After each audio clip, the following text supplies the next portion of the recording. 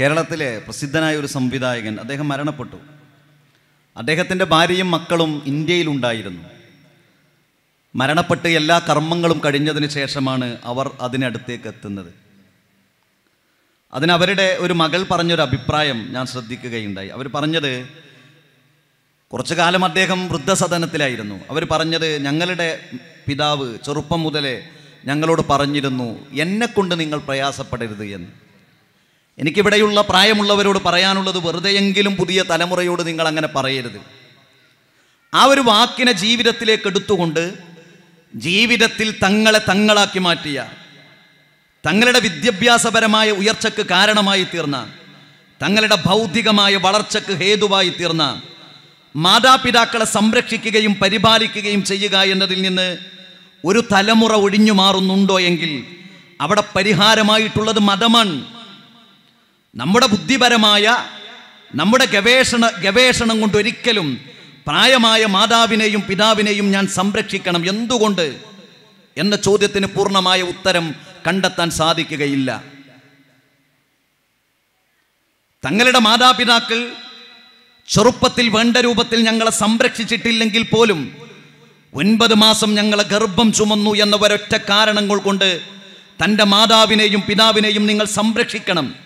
നിങ്ങൾ എത്ര തിരിച്ചവർക്ക് ഉപകാരം ചെയ്തു കഴിഞ്ഞാലും നിങ്ങൾക്ക് അവരോടുള്ള ബാധ്യതയും കടപ്പാടും പൂർത്തീകരിക്കാൻ കഴിയുകയില്ല. അതുകൊണ്ട് നിങ്ങൾ അവസാനം ദൈവത്തോട് പ്രാർത്ഥിക്കുകയും വേണം. വക്കുൽ റബ്ബി റഹംഹുമാക്കമാ റബ്ബയാനി സഹീറ ചെറുപ്പത്തിൽ ഞങ്ങളോട് ഞങ്ങളുടെ മാതാപിതാക്കൾ കാരുണ്യം ചെയ്തതുപോലെ ഇനി നാദ നീ അവരോട് കാരുണ്യം ചെയ്യേ എന്ന് നിങ്ങൾ പ്രാർത്ഥിക്കണം എന്നതാണ്. മതം മുന്നോട്ട് വെക്കുന്ന ആശയം അതാണ്. ലോകത്തെ ഏത് രാജ്യത്ത് വളർന്നു വരുന്ന ഒരു കാലഘട്ടത്തിൽ കേരളത്തിൽ പഠിക്കുന്ന വിദ്യാർത്ഥികളിൽ ബഹുഭൂരിപക്ഷവും കേരളത്തിലായിരിക്കുകയില്ല ജോലി ചെയ്യുക.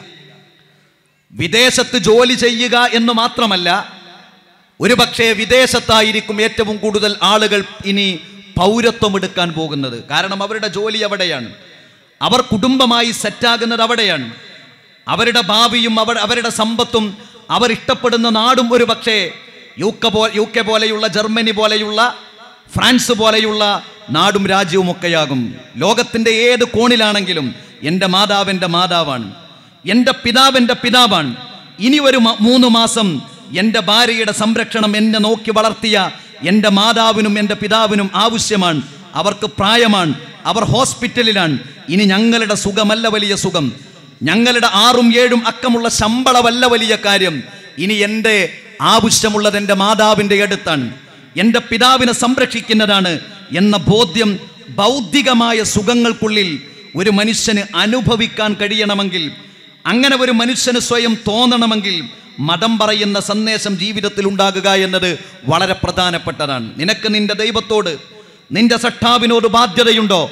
എങ്കിൽ നിന്റെ മാതാപിതാക്കളോട് മാന്യമായി പെരുമാറുക എന്നത് നിന്റെ കടപ്പാടാണ്.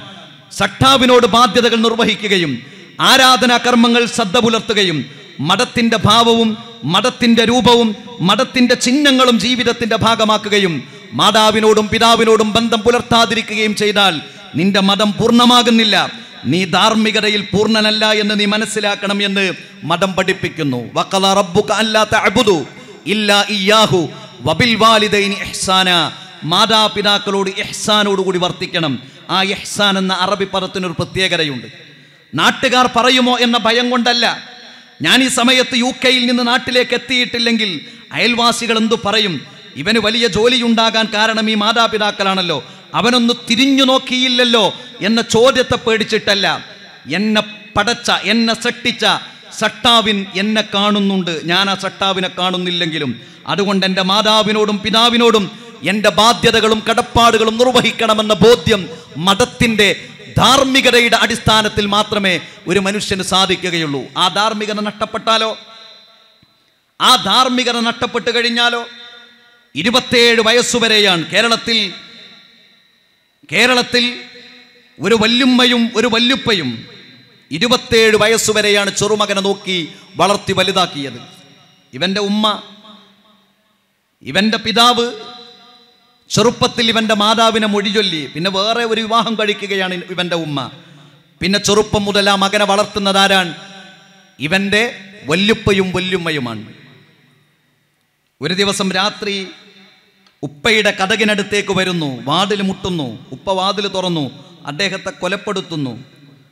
വല്യുമ്മയുടെ വാതിലിനടുത്തേക്ക് വരുന്നു. കഥക് മുട്ടുന്നു. വല്യുമ്മ വാതിൽ തുറന്നു. അവരുടെ കഴുത്തറുത്ത് വീട്ടിലെ സ്റ്റെയറിൽ വെച്ചു. എന്താ കാരണം എന്നറിയോ എല്ലാം എന്റെ ചോയ്സാണ്. എല്ലാം എന്റെ വ്യക്തി സ്വാതന്ത്ര്യമാണ്. എന്റെ ഇഷ്ടങ്ങളാണ് ശരി. ആ വിദ്യാർത്ഥി ലഹരി കടിമയായിരുന്നു. ലഹരി എന്നത് മനുഷ്യ ജീവിതത്തിൽ നാശം മാത്രമാണ് ഉണ്ടാക്കുക എന്നത് മതം പഠിപ്പിക്കുന്നു. അത് നമ്മുടെ ചോയ്സ് അല്ല അത് നമ്മുടെ വ്യക്തി സ്വാതന്ത്ര്യമല്ല. എല്ലാം നമ്മുടെ ചോയ്സും നമ്മുടെ വ്യക്തി സ്വാതന്ത്ര്യവുമായി കഴിഞ്ഞാൽ ഒരു സമൂഹത്തിലെ ധാർമ്മികത നഷ്ടപ്പെടുമെന്ന കാര്യത്തിൽ യാതൊരു സംശയവുമില്ല. ഞാൻ സൂചിപ്പിച്ചത് മാതാപിതാക്കളോടുള്ള ബാധ്യതയും കടപ്പാടും മതം പഠിപ്പിച്ചതിലോ പോലെ ലോകത്തൊരു പ്രത്യയ ശാസ്ത്രവും പഠിപ്പിച്ചിട്ടില്ല. മാതാപിതാക്കളുടെ സംതൃപ്തിയിലാണ് ദൈവത്തിന്റെ സംതൃപ്തി. മാതാപിതാക്കളുടെ കോപത്തിലാണ് ദൈവത്തിന്റെ കോപമെന്ന വളരെ കൃത്യമായ വചനം മതം പഠിപ്പിക്കുകയാണ്. അതാണ് ഞാൻ സൂചിപ്പിച്ചത്. അള്ളാഹുവും പ്രവാചകനും നിങ്ങളെ ക്ഷണിക്കുന്നത് മതം നിങ്ങളെ ക്ഷണിക്കുന്നത് ലിമായോ ഹീക്കും നിങ്ങളെ ജീവിപ്പിക്കുന്നതിലേക്കാണ് നിങ്ങളെ നശിപ്പിക്കുന്നതിലേക്കല്ല. ഭാര്യ ഭർത്തൃ ജീവിതത്തെക്കുറിച്ച് പുതിയ തലമുറയുടെ അഭിപ്രായം എന്താണ്? ഭാര്യ ഭർത്തൃ ജീവിതത്തെക്കുറിച്ച് അഭിപ്രായം എന്താണ്? വിവാഹത്തെക്കുറിച്ച് പുതിയ തലമുറയുടെ അഭിപ്രായം എന്താണ്? അവർ പറയുന്നു ഞങ്ങളൊരു അടിമപ്പണിക്ക് തയ്യാറല്ല എന്നാണ് പലപ്പോഴും പെൺകുട്ടികൾ പറയുന്നത്. ആരാണ് ഭാര്യ ഭർത്തൃ ജീവിതം ഒരു അടിമപ്പണിയാണ് എന്ന് പെണ്ണിന് പഠിപ്പിച്ചു കൊടുത്തത്? താൻ സ്നേഹിക്കുന്ന തന്നെ വിവാഹം കഴിച്ച തന്റെ ഭർത്താവിനൊരു തലവേദന വരുന്നു. ആ ഭർത്താവിന്റെ തലയിൽ നെറ്റിയിൽ കുറച്ച് ബാമു പുരട്ടി കൊടുക്കുന്നത് അടിമപ്പണിയാണോ? അവർക്ക് തോന്നുന്നു അവരെ പുരോഗമനമെന്ന് പറഞ്ഞ് പുതിയ തലമുറയിൽ പഠിപ്പിച്ചു കൊടുക്കുന്നു അതൊരു തരം അടിമപ്പണിയാണ് എന്ന്. ഒരു മനുഷ്യൻ മറ്റൊരാളുടെ സഹായമില്ലാതെ ഈ ലോകത്ത് ജീവിക്കാൻ കഴിയില്ല. താൻ വിവാഹം കഴിച്ച ഒരു സ്ത്രീ അവൾക്ക് പനി വരുന്നു തലവേദന വരുന്നു. അവൾ എല്ലാ കാലഘട്ടത്തിലും അവർ അവർ രോഗിയായി കിടക്കുന്ന ഒരവസ്ഥയുണ്ടാകുന്നു പത്തും പതിനഞ്ചും വർഷം താൻ വിവാഹം കഴിച്ച ഒരു പെണ്ണിനെ പരിപാലിക്കുന്നു സംരക്ഷിക്കുന്നു ഹോസ്പിറ്റലിലേക്ക് കൊണ്ടുപോകുന്നു. അവളുടെ എല്ലാ ആവശ്യങ്ങളും നിറവേറ്റുന്നു. മലമൂത്ര വിസർജനം വരെ അതുവരെ നടത്തിയതിനു ശേഷം അതെല്ലാം വൃത്തിയാക്കി കൊടുക്കുന്നു. വിവാഹത്തിലൂടെ നൽകുന്ന ഒരു കാരുണ്യമാണ്. അത് ദൈവം സന്നിവേശിപ്പിച്ച ഒന്നാണ്. അവിടെയാണ് പറയുന്നത് ഞങ്ങൾക്ക് വിവാഹത്തിന് താല്പര്യമില്ല പിന്നെ എന്തിനാണ് താല്പര്യം ഞങ്ങൾക്ക് താല്പര്യം ലിവിങ് ടുഗദറിനാണ്. ലിവിങ് ടുഗദറിനെ കുറിച്ച് നിങ്ങളുടെ അഭിപ്രായം എന്താണ്? അതൊക്കെ ഓരോരുത്തരുടെയും ചോയ്സ് അല്ലേ? അതൊക്കെ ഓരോരുത്തരുടെയും വ്യക്തി സ്വാതന്ത്ര്യമല്ലേ? അതൊക്കെ ഓരോരുത്തരുടെയും ഇഷ്ടമല്ലേ എന്ന് പറയുമ്പോൾ വിവാഹം എന്നതിനെ മാറ്റി നിർത്തിക്കൊണ്ട് ലിവിങ് ടുഗദർ എന്ന പുരോഗമനം എന്നറിയപ്പെടുന്ന തലതിരിഞ്ഞ പുരോഗമനത്തെ പുതിയ തലമുറ നെഞ്ചേറ്റിക്കഴിഞ്ഞാൽ ഈ സമൂഹത്തിൽ എന്താണ് സംഭവിക്കുക? ലിവിങ് ടുഗദർ എന്നത് പുരുഷാധിപത്യമാണ്. ലിവിങ് ടുഗദർ എന്നത് പുരുഷാധിപത്യമാണ്. ഒരു സംശയമല്ല. ഒരാൺകുട്ടിയും പെൺകുട്ടിയും കണ്ടുമുട്ടുന്നു. അവർ സംസാരിക്കുന്നു. അവർക്ക് ഇഷ്ട അവർ ഇഷ്ടപ്പെടുന്നു. അവർ തീരുമാനിക്കുന്നു നമുക്ക് ഒന്നിക്കുകയല്ലേ? ഒന്നിക്കുകയല്ലേ എന്ന ചോദ്യത്തിന്റെ കൂടെ അവർ വെക്കുന്ന ഒരു വ്യവസ്ഥയുണ്ട്. അതെന്താണ്? നമ്മിൽ ആർക്കാണോ താല്പര്യമില്ലാതാകുന്നത് അവിടെ നമുക്ക് പിരിയാം എന്നതാണ്. ആ ഒരു വ്യവസ്ഥയിലൂടെ കേരളത്തിൽ പോലും സംഭവിക്കുന്നത് എന്താണ് എന്ന് കേരളത്തിന്റെ ബഹുമാനപ്പെട്ട ഹൈക്കോടതി പറയുന്നു. കേരളത്തിൽ വിധവകൾ വർദ്ധിക്കുന്നു അനാഥകൾ വർദ്ധിക്കുന്നു. പുരുഷന്മാർ വിവാഹം കഴിക്കാതെ സങ്കടപ്പെട്ടുകൊണ്ട് ഏതെങ്കിലും ഗാനം ചൊല്ലി ഏതെങ്കിലും തെരുവുകളിലൂടെ നടക്കുന്നു എന്നതല്ല. കേരളത്തിൽ ലിവിങ് ടുഗദർ വർദ്ധിക്കുന്നു. അതിലൂടെ വിധവകൾ ഉണ്ടാകുന്നു അനാഥകൾ ഉണ്ടാകുന്നു. എന്താ കാരണം? ഒരു പുരുഷനെ സംബന്ധിച്ചിടത്തോളം ഈ പെണ്ണിനോടുള്ള താല്പര്യം കുറയുന്നു. അവർ ഒന്നിച്ചു കഴിഞ്ഞു. സ്വാഭാവികമാണ് ഗർഭം ധരിക്കുക പെണ്ണാണ്. ആണല്ല. ആണൊരിക്കലും ബയോളജിക്കലായിട്ട് തന്നെ ഗർഭം ധരിക്കൂല. ഗർഭം ധരിച്ചപ്പോൾ അവനൊരു മടുപ്പ്.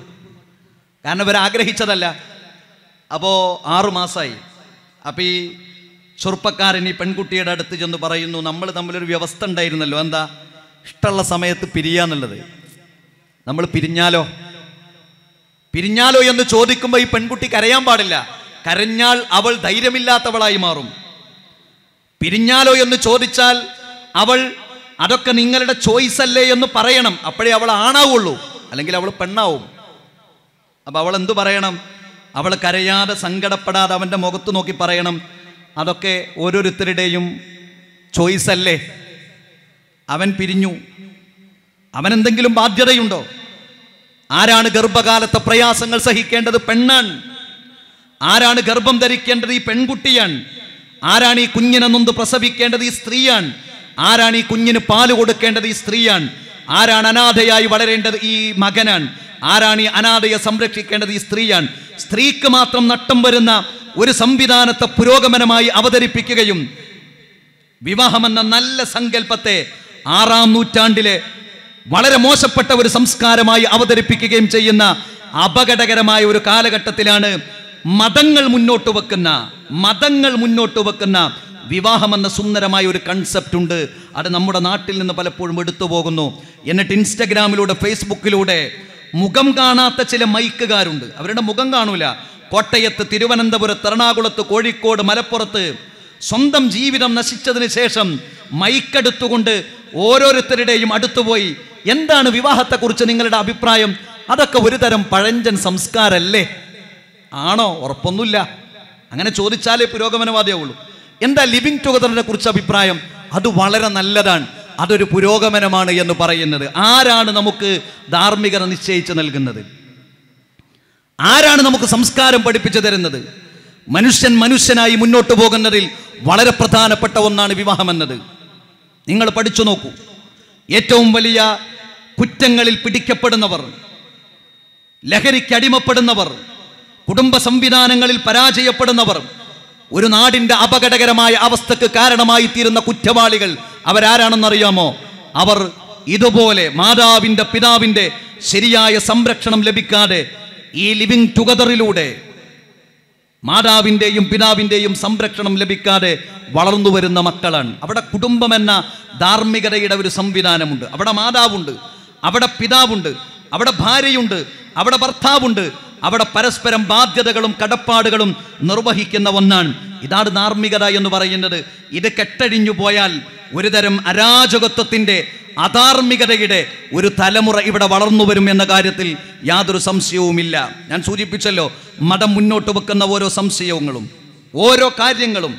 മതമെന്ന് പറയുന്നത് കേവലം ആരാധനകൾ മാത്രമല്ല അനുഷ്ഠാനങ്ങൾ മാത്രമല്ല അതൊരു ദർശനമാണ്.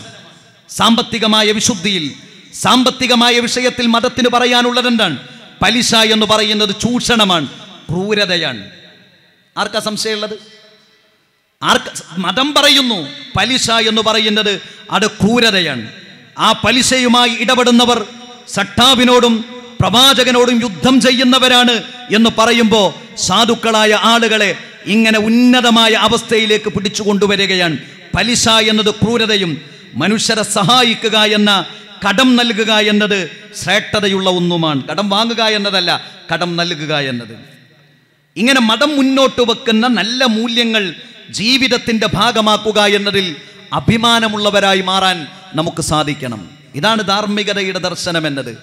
മതങ്ങൾ മുന്നോട്ട് വെക്കുന്ന മതം മുന്നോട്ട് വെക്കുന്ന എല്ലാ വിശ്വാസമടക്കം ബാധ്യതകളടക്കം ബന്ധങ്ങളടക്കം ഭാര്യഭർത്തൃ ജീവിതമടക്കം മാരകമായ ലഹരി ഉപയോ ഉൽപ്പന്നങ്ങളുടെ വിതരണവും ഉപയോഗവും അടക്കമുള്ള കാര്യങ്ങൾ മനുഷ്യർക്ക് നന്മ നൽകുന്ന ഒന്നാണ്. റസൂലി. സട്ടാവും സട്ടാവിന്റെ പ്രവാചകനും നിങ്ങളെ ക്ഷണിക്കുന്നത് ലിമായുഹീക്കും നിങ്ങളെ ജീവിപ്പിക്കുന്ന ധാർമ്മികതയുടെ സന്ദേശത്തിലേക്കാണ് എന്ന ധാർമ്മികത നമ്മുടെ ജീവിതത്തിലേക്ക് കൊണ്ടുവരാൻ നമുക്ക് സാധിക്കേണ്ടതുണ്ട്. മനുഷ്യരെ മനുഷ്യരായി കാണാൻ നമുക്ക് സാധിക്കണം. മനുഷ്യരെ മനുഷ്യരായി കാണാൻ. പുതിയ കാലഘട്ടത്തിന്റെ ഒരു പ്രത്യേകത എന്താണ്? വർഗീയത എന്നത് പറയാൻ മടി കാണിച്ചിരുന്ന ഒരു കാലഘട്ടത്തിൽ നിന്ന് ഇന്നത്തെ സോഷ്യൽ മീഡിയ എടുത്ത് അതിന്റെ കമൻസുകൾ പരതിക്കഴിഞ്ഞാൽ വർഗീയമായ വിഷം അത്യുഗ്രമായി വിളമ്പുന്ന അപകടകരമായ ഒരു കാലഘട്ടത്തിലാണ് നാം ജീവിക്കുന്നത്. ഇവിടെ മുസ്ലിങ്ങളായി ഹൈന്ദവരായി ക്രൈസ്തവരായി മതമില്ലാത്തവരായി നാം ജീവിക്കുന്നത്. മനുഷ്യരെ മനുഷ്യരായി കാണാൻ ഒരു മനുഷ്യന് സാധിച്ചിട്ടില്ലെങ്കിൽ അയാളെ മതവിശ്വാസി എന്ന് പറയാൻ ഒരിക്കലും കഴിയുകയില്ല.